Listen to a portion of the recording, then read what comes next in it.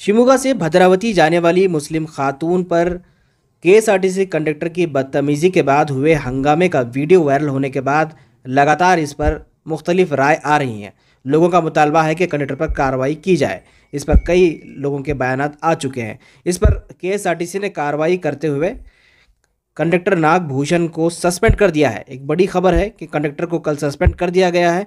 आखिरकार कंडक्टर पर कार्रवाई हुई है। लेकिन सामाजिक कारकुन सैयद अशरफ ने मुतालबा किया है कि सस्पेंड करने से काम नहीं चलेगा, उसे गुंडा एक्ट में अरेस्ट किया जाना चाहिए।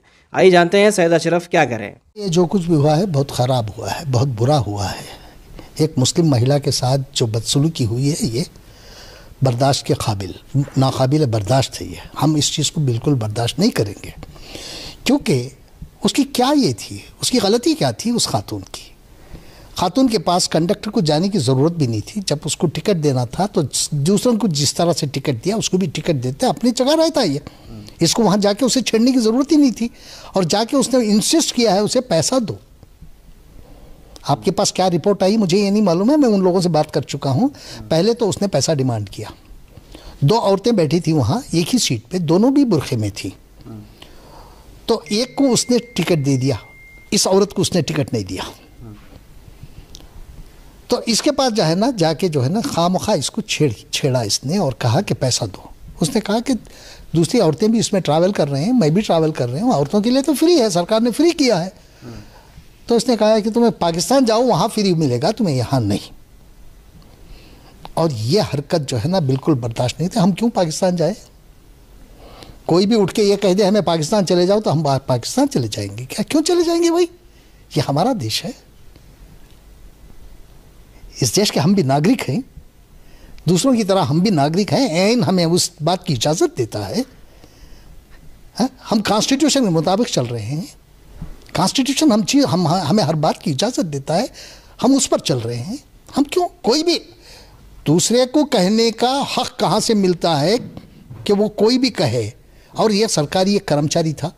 कर्मचारी को कहाँ से इतना ये मिल गया कि वो एक मुस्लिम महिला को कह दे कि पाकिस्तान चले जाए? क्यों जाएँगे? लेकिन अफसोस की बात है अभी तक एफआईआर तक नहीं हुआ देखिए मेरी जिस दिन मुझे यह मेरे पास आया उसी दिन रात को मैंने वज़ी अजम तक ये बात वज़ी अला तक ये बात पहुँचा दी मैंने। और दूसरे दिन कल कार्रवाई हुई इसकी। अभी मेरे पास उनके सेक्रेटरी का फ़ोन भी आया था और वो मुझे मिले भी थे और मिल के उन्होंने कहा कि अशरफ देखो हमने उसे सस्पेंड कर दिया है। मुख्यमंत्री जी ने कहा था, फ़ौरन उसे सस्पेंड करो। आपके वीडियो आने के बाद जो है ना, आपके मैसेज के बाद जो है ना, उसे हमने सस्पेंड कर दिया। मैंने कहा, ये सस्पेंड मेरा डिमांड नहीं था। सस्पेंशन से मेरा डिमांड, मेरा ये खाली ये नहीं हुआ मुझे। मैं उससे खुश नहीं हूँ। मैंने पहले ही कह दिया था, मैं सस्पेंशन की डिमांड नहीं कर रहा हूँ। उसे नौकरी से निकालने की डिमांड मैं नहीं कर रहा हूँ। मैं तो सिर्फ़ ये डिमांड कर रहा हूँ कि उसे गुंडा एक्ट में अंदर किया जाए। क्योंकि अब उस पर मुझे वो एक साहब मुझे कहने लगे कि, देखिए साहब, ऐसा है, गुंडा एक्ट के लिए जो है ना कुछ कानून है, वो कानून के तहत हमें करना पड़ता है। और मुझे समझाने लगे, मैंने कहा, मुझे ये मत समझाइएगा। कानून है, मैं जानता हूँ। गुंडा एक्ट में डालने के लिए पहले उसके ऊपर क्रिमिनल केसेस होना, डकैती के केसेस होना मर्डर के केसेस होना, ऐसे लोगों को हम जो है ना कर सकते हैं, गुंडा एक्ट में डाल सकते हैं। एक मामूली कंडक्टर को एक बदतमीजी पे हम गुंडा गुंडा एक्ट नहीं डाल सकते। तो तब मैंने उनको जवाब में कहा, आप ये मत समझाइए मुझे। आप एक्ट को पढ़िएगा। इसने दो कम्युनिटीज़ में हेट्रेट क्रिएट करने की कोशिश की है। ये हेट्रेट का मामला है। दो कम्युनिटी को लड़ाने का मामला है एक औरत के साथ बदतमीजी का मामला है। यहाँ सेक्शन 376 लागू होता है। आईपीसी के सेक्शन 376 जो सेक्सुअल हैरेसमेंट है वो लागू होता है। तो हेट्रेट करने वाले को जब उसका घर डमालिश हो जाता है वहाँ यूपी बिहार राजस्थान सब जगह जो है ना डमालिशन शुरू हो जाता है हेट्रेट करने वाले के एक दूसरे को लड़ाने वाले के घरों को जो है ना डमालिश कर देते हैं। यहाँ तो सिर्फ़ मैं तो मेरी मांग तो सिर्फ़ आपको उसे कुंडा एक्ट में डालने की है। जब दोनों कम्युनिटी में हेट्रेड शुरू किया उसने करने की कोशिश की लड़ाने की कोशिश की तो वो जो war against the state it is nothing but war against the state तो आपको क्यों नहीं? आप अपने वकीलों से बात करो बोला मैं। आप अपने वकीलों से बात करो उनसे राय मशवरा करो आपके एजी को बुलाओ एजी से बात करो। बात करके करो इसको। तो अभी भी आपका यही मुतालबा है? मेरा मुतालबा यही है जब तक उसको अरेस्ट नहीं, सिर्फ़ अरेस्ट नहीं है मेरा मेरा डिमांड अरेस्ट नहीं है। गुंडा एक्ट में अरेस्ट हो। और सेक्सुअल हैरासमेंट का केस उस पर लगे। अब मैं ये कोशिश कर रहा हूँ, मैं आपको, आपके माध्यम से ये भी कहना चाहता हूँ कि मैं ये कोशिश कर रहा हूँ कि उस फैमिली को यहाँ लाऊं अब सबके सामने पेश करूँगा उनको मैं। जो हकीकत है वो बयान करेंगे। उसके पर इनको एक्शन लेना पड़ेगा। अब तक F I R suo motu F I R करना चाहिए था। तो पुलिस की नाकामी है उसमें। नहीं पुलिस की नाकामी नहीं पुलिस को आपने डायरेक्शन क्यों नहीं दिया? पुलिस सोमोटो ले सकती थी डायरेक्ट पुल- पुलिस ले सकती थी ना क्यों नहीं ली? इसका यह मतलब है कि पुलिस भी जो है ना उसका साथ दे रही है। पुलिस भी मुसलमानों के खिलाफ है। इससे साफ़ ज़ाहिर होता है। देखिए मुझे सरकार के खिलाफ बोलने में डर नहीं होता। मैं डरता नहीं हूँ। हकीकत बयान करने में मुझे डर किस बात का? मैं क्यों डरूँगा? पुलिस की नाकामी इसमें ज़ाहिर हो रही है और पुलिस ने एक्शन नहीं लिया। फौरी तौर पर पुलिस को एफआईआर तो करना चाहिए था। अरेस्ट करना, उसे इंक्वायरी करना, ये बात की बात है। पहले एफआईआर करें, तब इंक्वायरी कर सकते हैं। इंक्वायरी में कौन क्या है, ये दिखा सकते थे आप। रिपोर्ट अपने होम मिनिस्टर को की, अपने होम सेक्रेटरी को की, नहीं कि अपने एसपी को की। किसी को भी दे सकते थे ना लोकल पुलिस आपने ऐसा नहीं किया। ऐसा नहीं करने का मतलब ये हुआ कि पुलिस भी जो है ना, उन्हीं का साथ दे रही है। अरे, ये हिम्मत कैसे हुई है कंडक्टर की कहने की, तुम पाकिस्तान जाओ। क्यों कह सक, क्यों कहेगा भाई वो हमसे?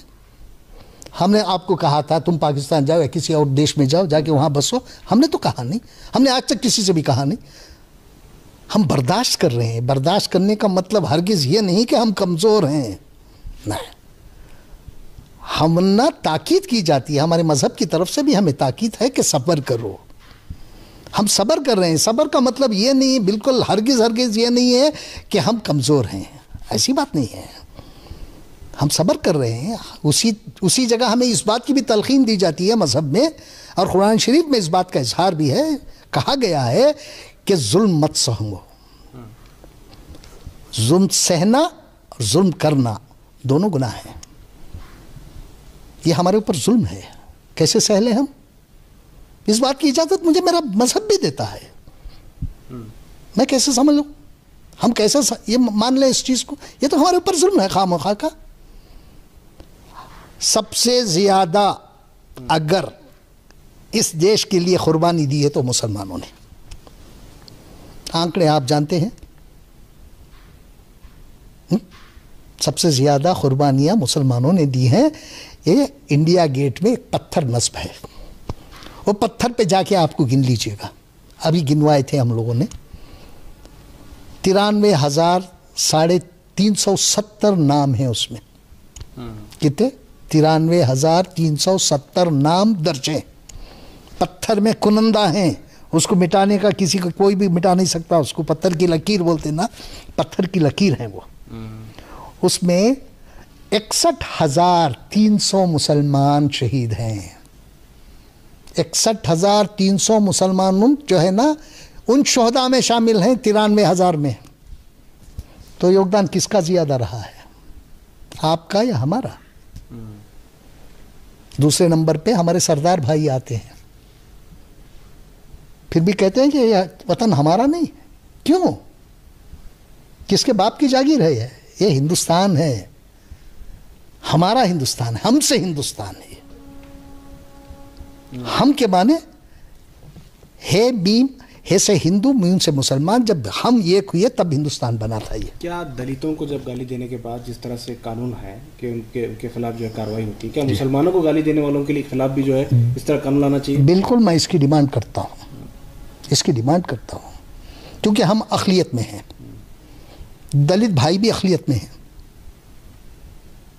ऐसा कानून बनना चाहिए, क्योंकि हर कोई उठ के यह कह दे कि हमें पाकिस्तान चले जाओ। हर एक को छूट है कहने की।